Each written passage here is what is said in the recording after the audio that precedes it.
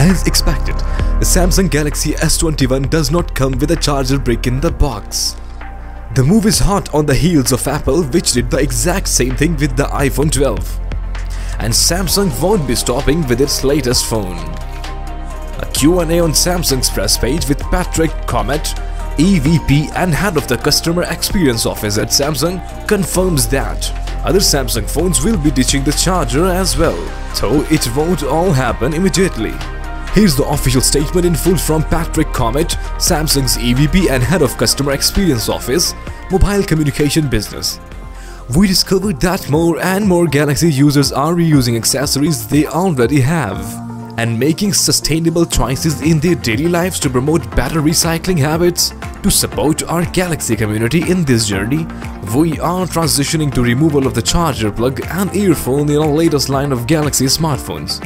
We believe that the gradual removal of charger plugs and earphones from our inbox device packaging can help address sustainable consumption issues and remove any pressure that consumers may feel towards continually receiving unnecessary charger accessories with new phones.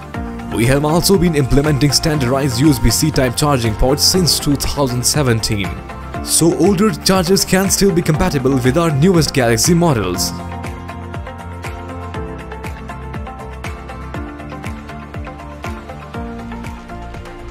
Of course, making the charger optional will also generate revenue for Samsung.